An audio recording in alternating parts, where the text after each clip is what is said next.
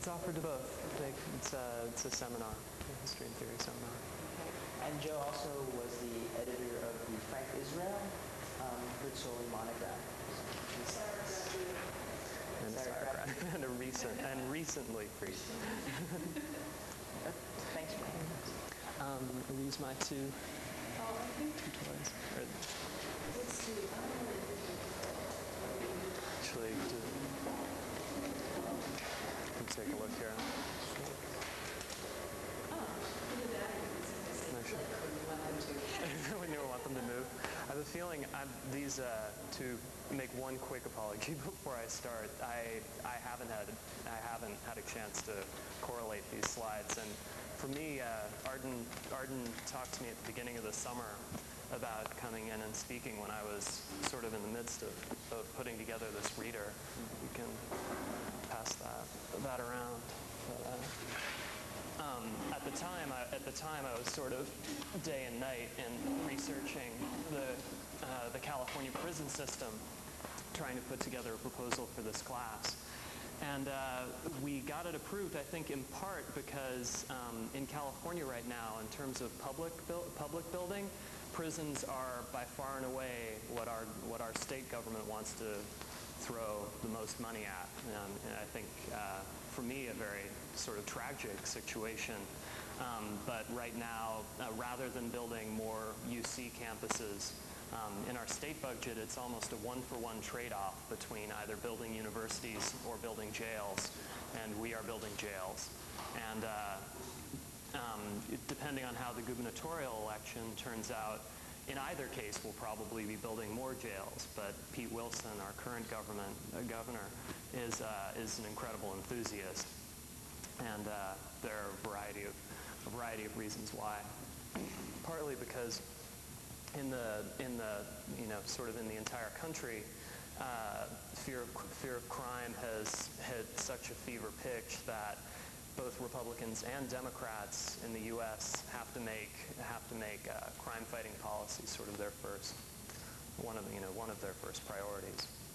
But what's happened in California, in sort of an interesting in an interesting way, is that almost every um, over the last 20 years, a number of different tactics or a number of different strategies for how to how to um, design prisons have arisen um, since about 1970, when it became clear that an earlier ideal of, of reformation of prisons as a place where you could put um, where you could put citizens who needed to somehow be retrained and brought back into society. Um, that ideal, the ideal that you could that you could reform a, a person and make them into make them into law-abiding, you know, well, you know, well-intentioned citizens, in many ways was uh, was given up. Um, very very few people in in uh, the business of incarceration. Um, come into that business with that kind of idealism, and it's become a far more, um, it's become a far more practical. I'm sorry. Sure. Sorry, I just wondered, could you define incarceration? Sure.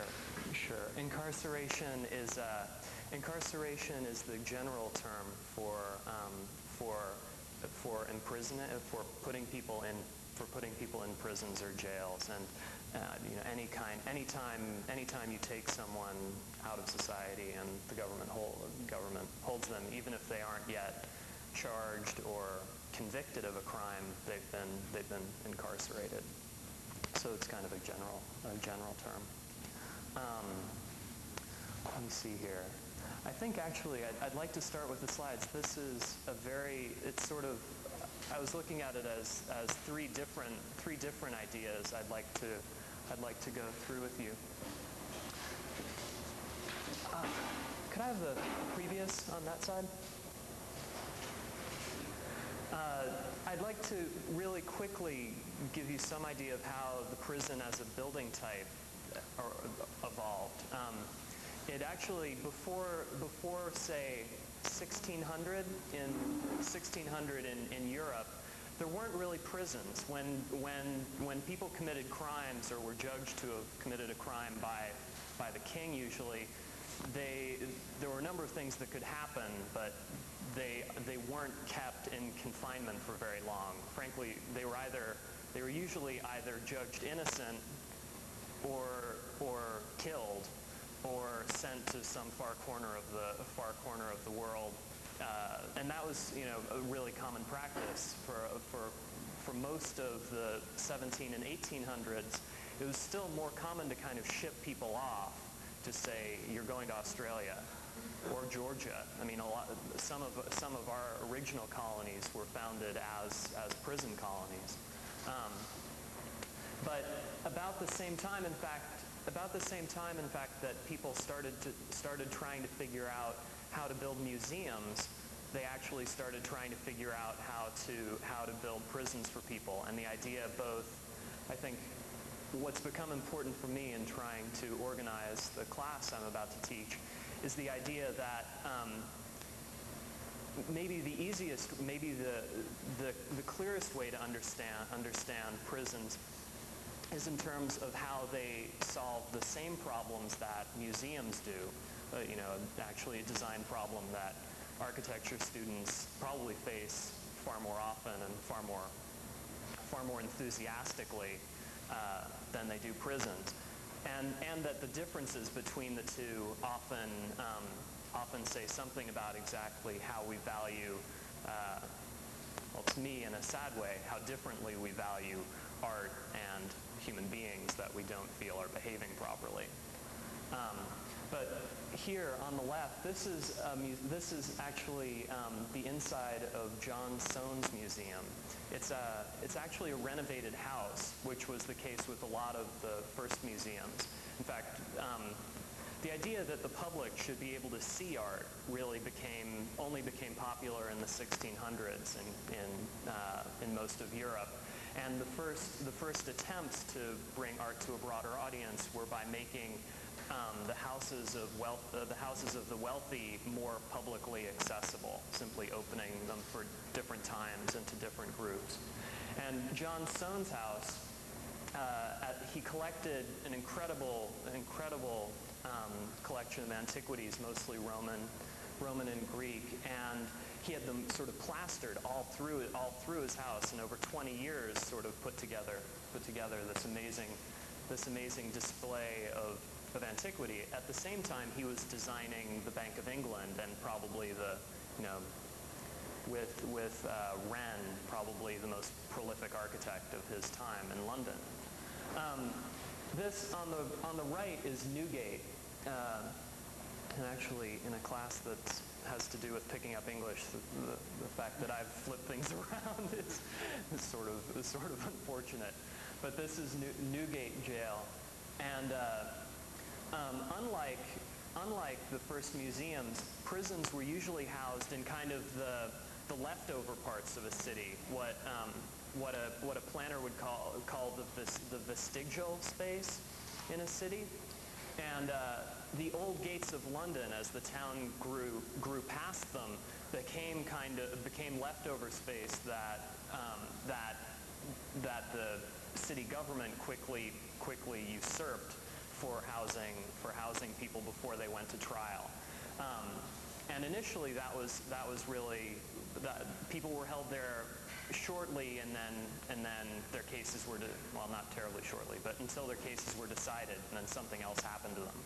Um, but what happened was that with the uh, with the rise of um, of uh, well, it's, it's kind of historically specific, but what what exploded the prison population in Great Britain um, were the debt laws. That people could be people could be incarcerated for owing a lot of for owing not even a lot of money, but if they owed money to the wrong people, they could be put they could be put in jail. And this became important because so many people were so many people were had to be imprisoned for this that they needed a whole lot they needed a whole lot of jails and they needed places where they for the first time, they needed places where they could keep people for long periods of time. They didn't want to kill these people because they'd never get the money, and they didn't want to ship them off. So in a, in a strange way, economics have really, you know, drove the first building boom uh, in a way that for me relates a little bit to how economics are driving the Californian building boom.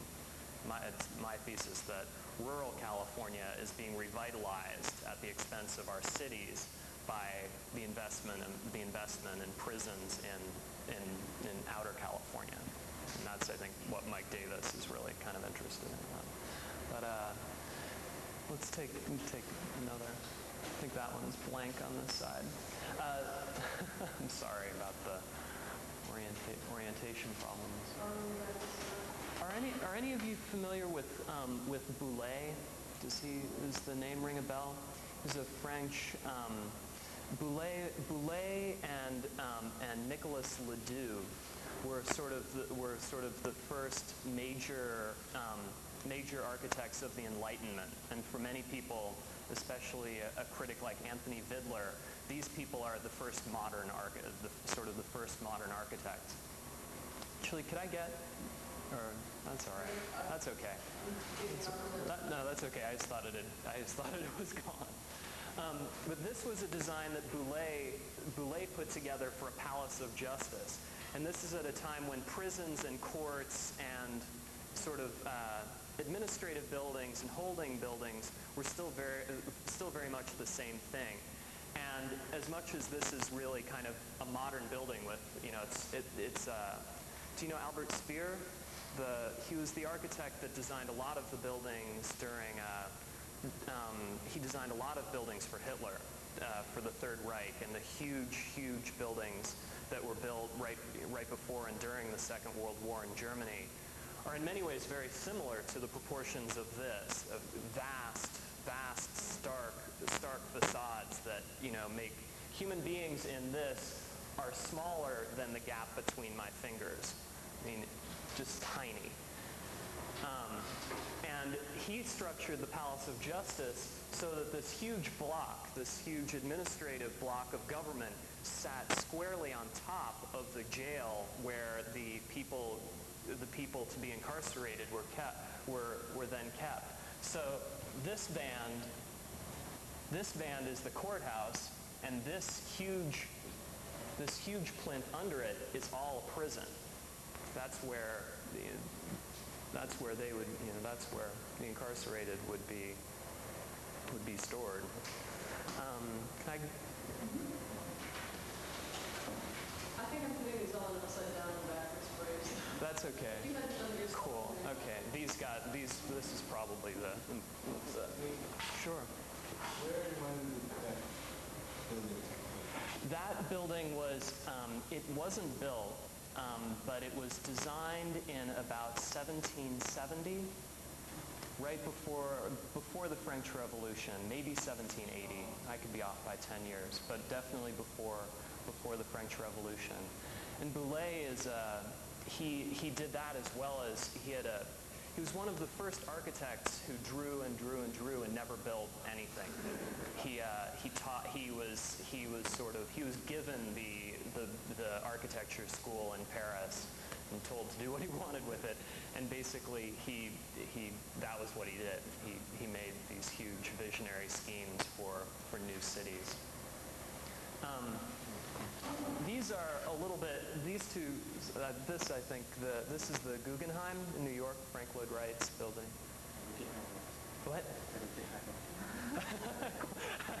I was like, thank you for thank you for keeping an eye. I know I'm in trouble already. Let me tell you, that's actually pretty great.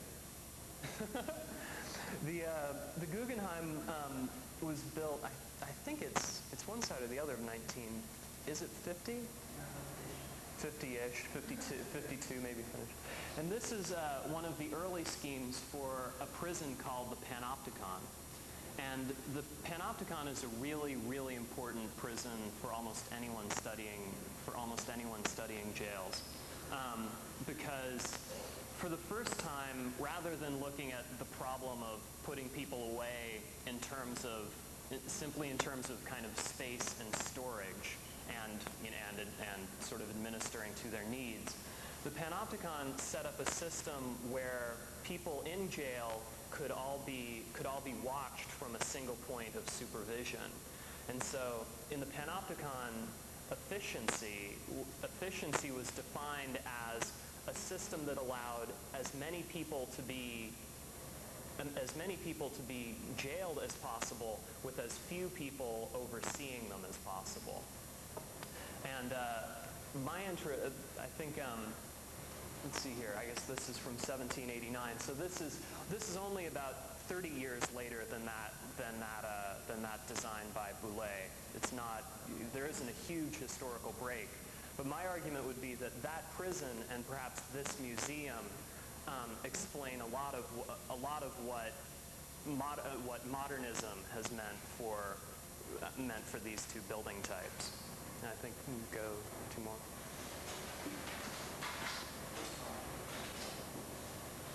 You want one on the right? Uh, yeah, I think I get to a.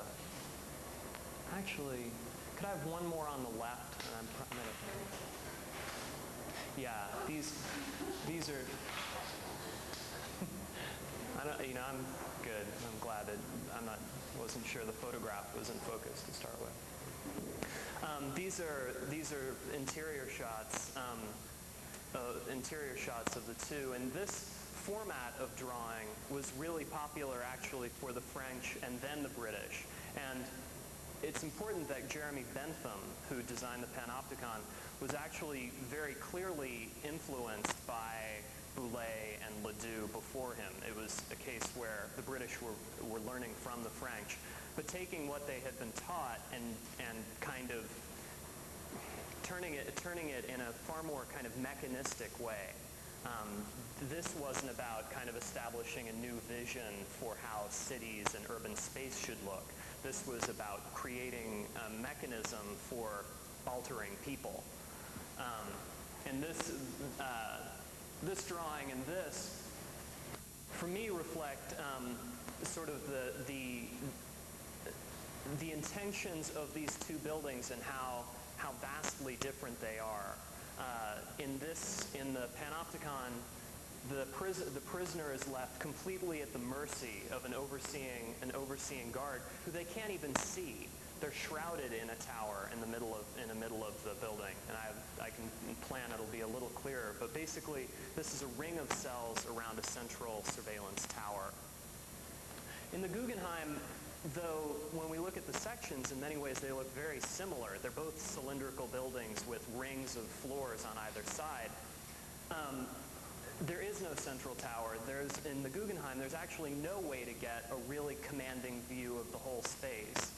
And in a sense, you don't want, you don't want that view. You, uh, Wright, Wright wanted someone coming into the bottom of the Guggenheim to be kind of overwhelmed by its spatial, by, by you know, the spatial pyrotechnics, by, uh, by the kind of, by, by just how fantastically he had, he had sculpted this, this, uh, the void inside that building. And so all of the relationships of power and subordination that happen here are in a way absent in the, in the Guggenheim, unless, unless Wright, Wright kind of commanding your attention is looked at in that way. Could we go? This is, this is a section of the two buildings. And uh, I'm sorry this one's so faint. I don't know if it's going to be terribly visible. But the... Can you, can you make that out? Is that, is it kind of clear? Is it okay? Um, the Panopticon is actually a, a, a really complicated building. It's sort of, it's two cylindrical buildings uh, surrounding one another and there's an outer cylinder there's an outer cylinder of cells that runs all the way around the building and then inside there were um, theaters in the round round uh, a round auditorium that that runs in a smaller cylinder here and the director of the the director of the prison could stand here and address the prisoners as they sat in the amphitheater while the guards ran around corridors here, here, here, here, and here, looking into all, looking into all the cells. So in a sense, um, there was both a place where where the where the guards were watching the prisoners and a place where the prisoners were watching the director and being told how to live better lives, basically. was, it was sort of a double-sided equation. Um, in the Guggenheim, by contrast, there there is an interaction. You you go you go and as a as a sort of as a passing as a passing observer, a tourist, you go and you spend a few hours at your own pace. And though, though you're sort of told to go up to the top and then come back down through the spiral, there's no one there sort of forcing you into, into any path. Um, and what's interesting to me about how, how this, how, I mean, to me, I was struck by how similar the two, similar the two were until I started noticing really small differences that make, the, that make the two buildings really operate differently. Frank Lloyd Wright set up his exterior walls so that skylights would come in, actually it's better over here, skylights here and here and here and here, bring the light down over the paintings so that, so that the, surfaces, the surfaces are lit and you see them in full color. The way the panopticon is structured, um, windows on the exterior, those ribbon, those, you know, I mean, incredibly early ribbon windows that run around the exterior of this building, backlit the um, the light. How would you say? So it's a, actually it gives the it puts the prisoners in silhouette, um, so that all you see is all you see is a dark figure ag- against against the white background. And the point was sort of that you don't need to know that much about what they're doing. You need to know they're there and that they aren't doing anything really devious. But beyond that, you don't need to know more and you probably don't want to, in a sense. Whereas the lighting at the Guggenheim is completely, is completely structured so that you can get as sort of as intimate as possible with the work that's being presented to you. Uh, it's interesting too that the Guggenheim actually does have a kind of they, the rings at the Guggenheim have cells to them. They're broken up. They're broken up slightly, and they aren't broken up like rooms. They don't. It isn't as it isn't as strong a as strong a break, but it's round. It's rounded out, and it was set up. It was set up that way because when the Guggenheims approached Frank Lloyd Wright, he really didn't like the work. He didn't like the art that was going to go in there, and there were only maybe three or four pieces of you know, of hundreds that he really liked. And he wanted to set up the museum so that a couple of them could be really set off from one another, and the rest could kind of be cubbyholed away and, left al- and left alone. Um, let's uh, go. It's also, for what it's, we don't need to go back to. Um, I think that one, oh, that's right. Can we go one more on that side? I think it was all right. Yeah, these are plans of the Panopticon. It's interesting too that the Guggenheim is a spiral. Uh, the Guggenheim is a spiral where, with the Panopticon, everything is very clearly stepped. And one of the biggest problems they face designing it, in which they still play, they still run into designing prisons, the biggest problem really is circulation. Is trying to figure out how to move um, both guards, both guards and prisoners separately and it's become a huge priority in, in current prison design to keep the movement of prisoners to an absolute minimum, which for the prisoners in a lot of ways is really miserable, but for the, for the, for the, um, for the officers is much, is much easier because it's in move, it's when, in prisons, when people move, you've got problems. That's when people, that's when things go wrong. That's when people get into fights. That's when, there, that's when there's interaction between people in a system that's designed to keep people apart. So in the Panopticon, you see this elaborate system. This is the first design, um, the first published design. This is from 1794. Um, and uh, the the uh, the stairs the stairs are wrapping all the way through this, consuming most of most of that most of that open ring that that the guards were supposed to be able to see through to the prisoners. And interestingly, the Guggenheim kind of solves that problem by setting everything on a spiral, so that both the the exterior spaces and the circulation both run up through the building. I wouldn't be surprised if a prison if, if a prison designer tries tries that soon. I think there were yeah, this is a the think that one I got right. This one's this one's backwards. This is a drawing by um, by Nicolas Ledoux, the other French architect with Boullée. And uh, I probably should have had it earlier in the series because I think in some ways this is the uh, this is the opposite the opposite image from the image of the prisoner over here. This is sort of the all-seeing eye, the you know an eye that completely you know takes takes in and and restructures everything that it sees after after some kind of ideal. And I think for Ledoux this wasn't this was more about in a way, I think Ledoux looked at this as sort of his self-portrait as the modern architect that could, that could see and completely re-envision everything he chose to. Um, this, on the other hand, is sort of, uh, this was a collection of images from, uh, uh, from a, a booklet published, published in Britain when prisons first start, when prisons got very popular there, and they got more popular in Britain before they did anywhere else. Um, the sort of the common the common people um, got you know began to get increasingly increasingly scared of being incarcerated, and a whole literature a whole literature developed around kind of heroic escapes from these new jails. And this is uh, this is from a book called uh, A Rake's Progress, and a rake is uh, a rake is like an irresponsible kid who like who goes out and who goes out and gets in trouble, and then he's put away. He's put away in a, in a place like this, and this has elaborate diagrams for exactly which locks he broke through and how he did it.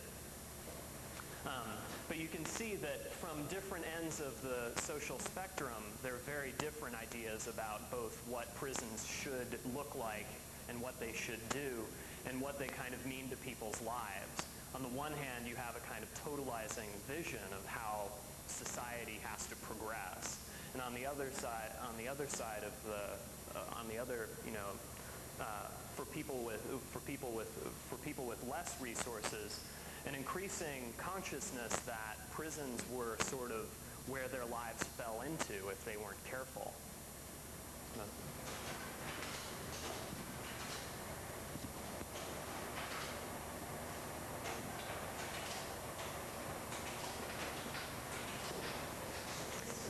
They. I'm, I left some spaces there. I'm sorry, but I am. I am happy about this for one reason. I, I, I couldn't tell with this slide. This is a, a section of MoCA, Isozaki's building downtown. And when I was looking at the slides, I wasn't actually sure that it, it looked like it was either MoCA or the Louvre, uh, I.M. Pei's building. And I'm actually very glad it's MoCA because what I was interested in doing here was contrasting how uh, museums and prisons are now being built in California. And this is a this is a slide of a youth detention facility in uh, San Diego, and a section through Isozaki's building. What interests me what interests me um, in part is just how how much um, both building types have kind of returned to the French, the French build, the, the French designs of Boullée, and an idea that institutions have to be, um, institutions have to have a civic presence and have to kind of define a city as much as they need to do things internally to order people, order people's lives.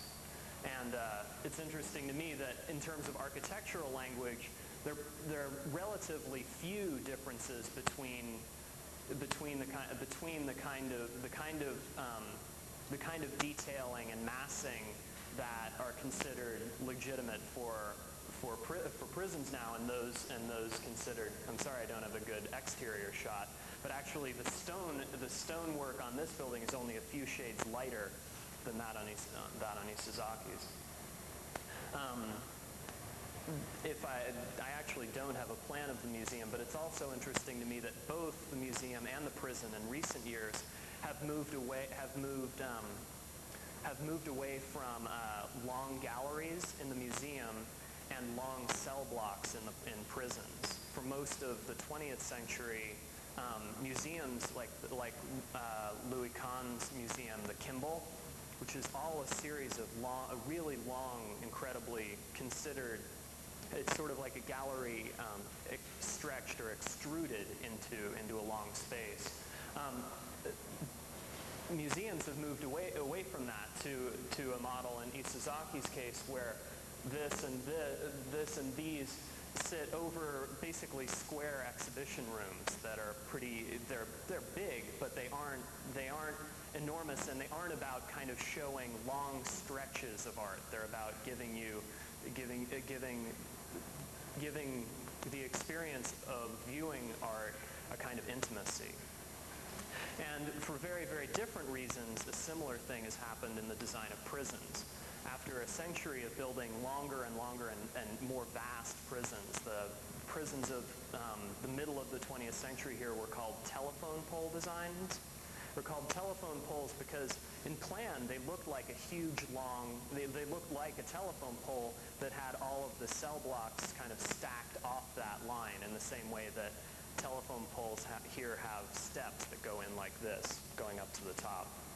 But uh, I think we can go on, and there's a plan here that shows some changes.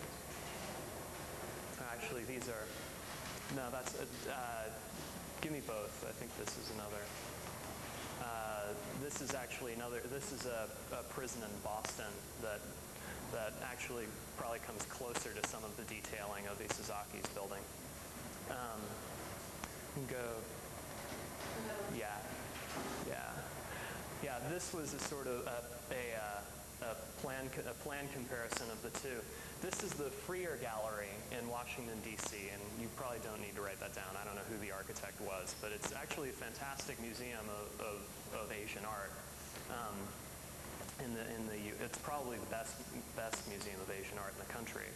And this is uh, the plan of this is the plan of the building we just saw on this side, the prison in Boston. And what's happened, what's happened in both, in both cases, um, where at one point these halls were completely broken down, uh, broken down and made into a one long run of long, one long run of, of gallery space. They've come back in and introduced more walls both so they can show more art at a, at a given time and so that they can make incredibly specific distinctions about where, you know, where, where the art in, in a particular room originates from. And in a kind of, in a kind of similar way, what's happened with, what's happened with prisons, and actually this is a relatively, relatively big cell block, cell block now, but they've, prisons are now almost always designed in this kind of strange corner configuration with a, like a, um, a triangle with two equal sides and one, one long one. And they're designed that way so that a guard, a guard somewhere here, either inside, either inside the, inside the common space of the, of, the, of the cell block or in an observation post up here, can look back down into cells on either side. In a way, it's um, in a way, it's very much like the panopticon uh, in the sense that it gives one viewer, uh, one viewer a complete view. But now, um, rather than a round building where a guard sort of has to spin around to see what's going on throughout, everything's loaded frontally. This is this is a this is a configuration that's completely governed by the fact that our eyes basically point out in one direction. And though this is a relatively big one, these units now hold usually about 50, about 50, in, 50 inmates, which is down from, from wings of the telephone prisons that would hold, you know, hundreds, 300 prisoners in a single, in a single cell block. And the idea is that, the idea is that now prison guards can inter, prison guards and prisoners can interact more easily and, um, and not not stay as, as much in opposition to one another as they, as, as they were earlier. Um, but it's important in terms of what I was what I was talking about at the beginning of the at the beginning of the class that in these 20 years in the U.S., a lot of prison designers have basically given up the idea that people in jail can be made different, that they can be changed when you look at the numbers, when you look at the statistics, people that go into jail actually are far more likely to end up back in jail than anywhere else. uh, just really, you know, horrible statistics. And in, in the wake in the wake of these, you know, after after this was discovered. Um, after this was discovered, there was a major movement to try to stop prison building and to say this obviously doesn't work. We have to find other ways of changing people, changing people's behavior, locking them up away from their away from their family and away from jobs and away from normal life isn't helping. But quickly on the heels of that kind of, of that of that public outcry, um, came came a movement in exactly the opposite direction that said basically basically we don't care what becomes of them once they're in there, but we don't want them back in our lives on the outside. And it's a very, frankly, it's a very, um, a very cynical, very pessimistic, very negative, um, uh, negative agenda that runs most of the prison building going on in our country now. It isn't, you know, it isn't that we think by building these institutions we're going to, we're going to cure people from the inner cities. It's more that suburban, suburban voters who, who turn out much more regularly need, you know, need to be reassured. And so now the priority is on keeping the cost of building prisons to an absolute minimum and setting up prison environments where guards are scared as little as possible. We can, go, I think we're pretty close to the end.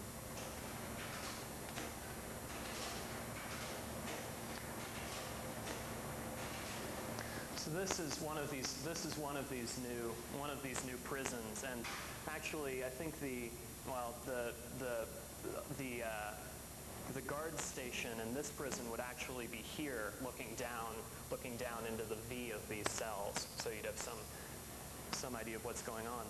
Another strange, really sort of strange trend in the way prisons are designed has been to make them more domestic. The idea was to make them more like your living room at home. Because in a certain point in, say, the early 1980s, it was decided that bleak institutional living was what was making prisoners more violent.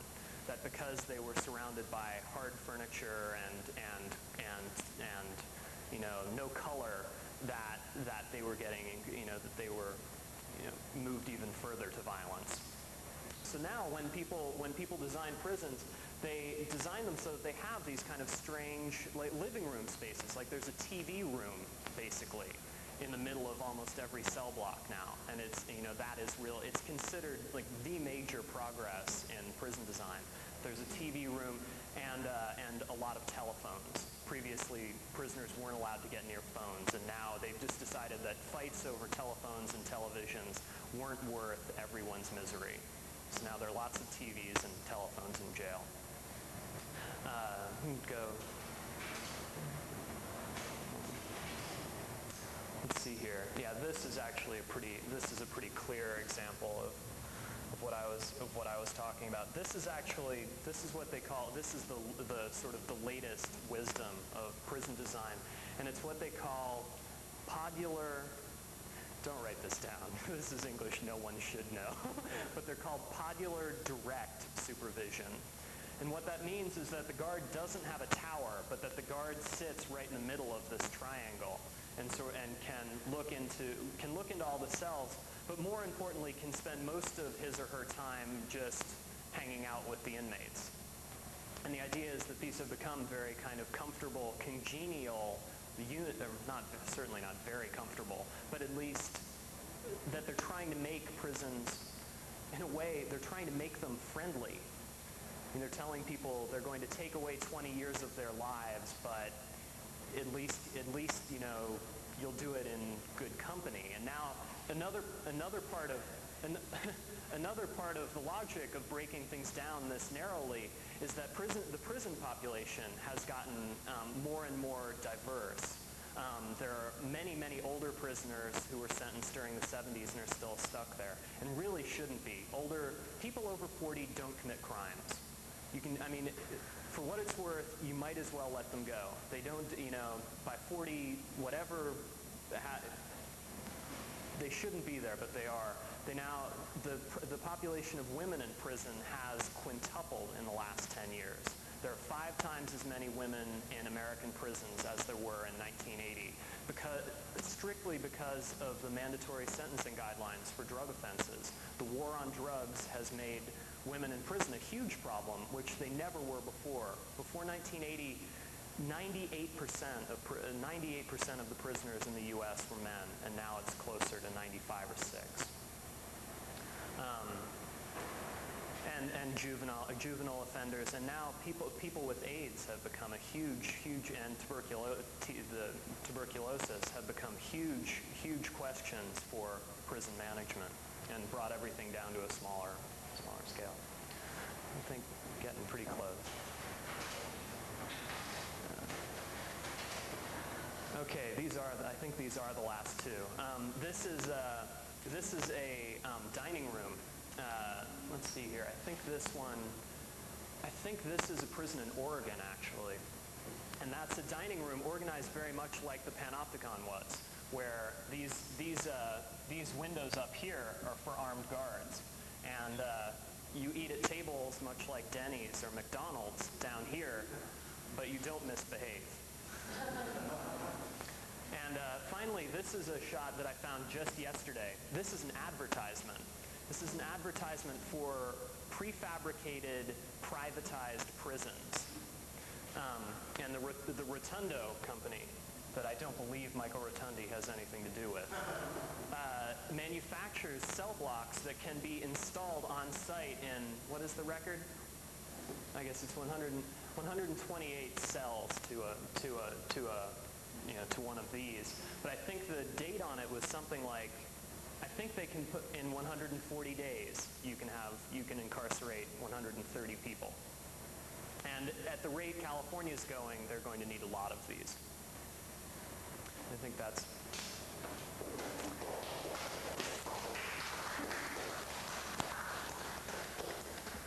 Thanks. I, uh, it's actually fun to go through. I was really concerned about how, how much I actually had to tell people, but if, um, I, hope I was pretty clear, and if any of you have any suggestions for this course I'm putting together in the fall with Mike, or if any of you can think of things that would be really interesting for students to do who aren't necessarily from California or from, or from the U.S., I'd be really, really interested in trying to put that together.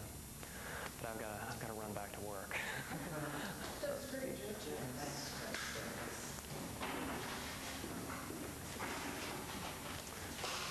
Back to uh, reversal messages, stand up.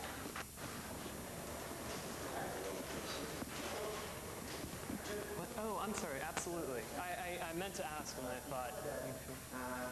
Basically, from front, the circle, like, front is circle. I'm sorry.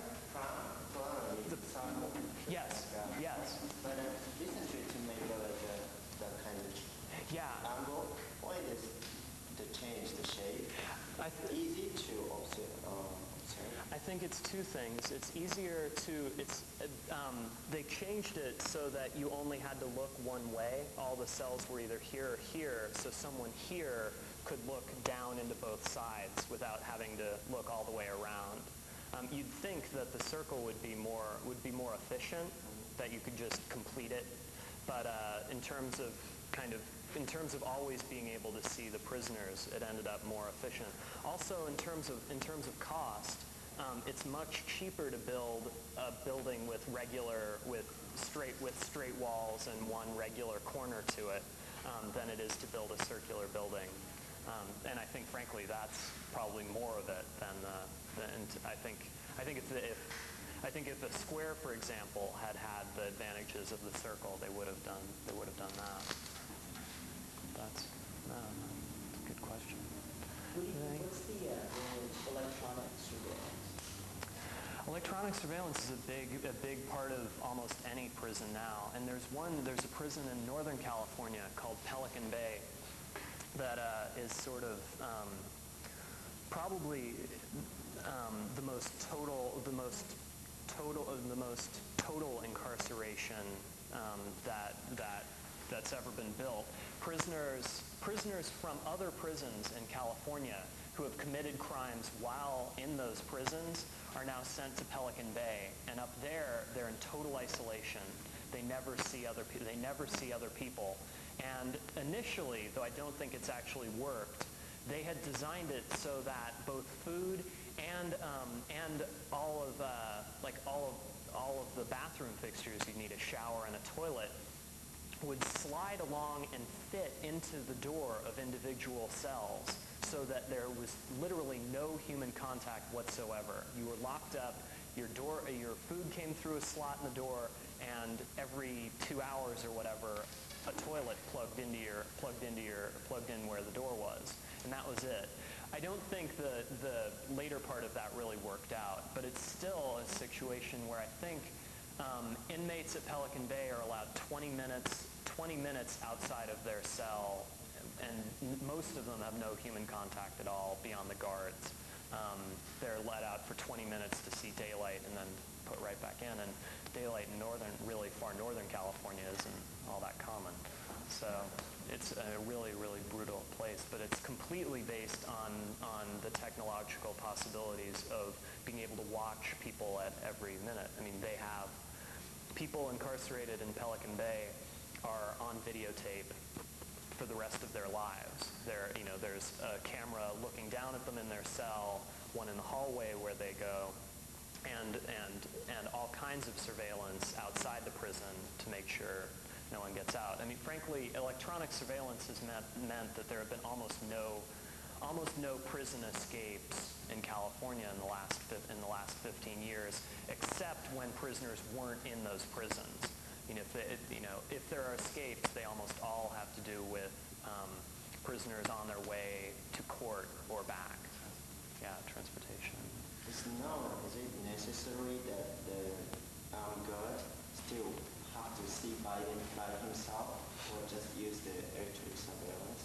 He, he definitely doesn't have to, definitely doesn't have to see that way. I think they do that in part, I mean, it's funny, in a way they've kind of perfected the system and it's no longer that necessary. Um, because they do, the camera, the cameras are there. Uh, maybe it could be like made more more and more domestic, still having all those electrical devices. You know, with- with Yeah. No, it could be that now they build the guard towers just to reassure the prisoners that someone is bothering to watch them. just sort of forsaken them. I think in terms of budget, state budget, is it really um, working like, is it not too expensive to build that sort of prison? It's really expensive. I mean, it's hugely, it's really costly. Um, it costs, every prisoner in the California, pris- uh, California prison system costs the taxpayers over $20,000 a year to incarcerate. And that's actually a bargain. That's brought way down from, say, you know, around $30,000 a few years ago. But prisons like that ready-made prison have made it, have, have made it somewhat cheaper. Guard salaries, on the other hand, have skyrocketed. Um, but yeah, it's, um, it's very expensive. It costs five times as much to put someone in jail as it does to put them through a year at the UC, you know, at any UC. It's, it's, you know, it's absurd. But on a, on a, on a kind of, on a budget level, the numbers work out very differently. Pete Wilson is given a million dollars a year by the, by the Correctional Officers Union for his campaign, you know, and, and over that in a campaign year, this year, Pete Wilson is going to be making a lot of money on building prisons. And the money that goes into prison building does go back into the Californian economy. I mean, whether we like it or whether we'd want to put it there or not, it's, it's being paid out to, it's being paid out, actually not all the contractors are Californian, but all of them are U.S. Prison building does not involve international work. um, it goes back into those building companies and um, from especially a, a conservative politician's perspective, a lot of the money goes into, a lot of the money goes into, um, well, that's not fair. Frankly, a lot of it goes into very depressed, a lot of depressed areas around the city, around the state. But quite a bit of it goes into rural California, which, which is important from a, from a voter, from a politician's perspective. So those are the vote, those are people that turn out to vote. Whereas the UC, UC investments in the UCs go into putting people like us, us through school, and most of us are urban, you know, or a lot of us are pretty much city dwellers. A lot of, you know, a lot of us are too young to vote or haven't really yet decided to. Um, and and frankly, a lot of people that are univers like the in terms of politics, in terms of politics, if I were a Republican, I wouldn't be racing to, you know, universities aren't, the, especially out of the UC system, the politics of both the people teaching the UCs and the students coming out of them are far more progressive than, than those of the Correctional Officers Union. So it, it, it, politics matter. Uh, you, uh, you pointed out uh, many similarities museum and uh, prison.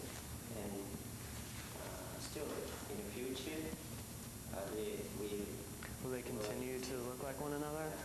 Or, to- or to, yeah, or maybe, I, it's weird for me, I look at the two and I think, my God, they look so close and yet in so many ways they're so opposite. I mean, and you know, we, we make a point of going to a museum every couple weeks if we can possibly do it. And none of us probably have ever seen the inside of a prison, except our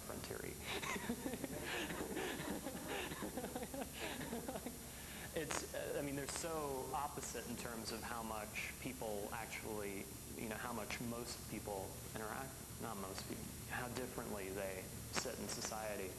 Um, but I think, uh, you know, un- un- unfortunately, a lot of the problems they solve are pretty similar. They're both institutions that are designed to store and display and, and maintain people or objects. That's what they do. Thank you. I, I'm sorry. I do. I'm gonna have to run up to run up to the office. What time is it? Okay. Yeah. So I'll at least have a job. Thank you. It's really really fun.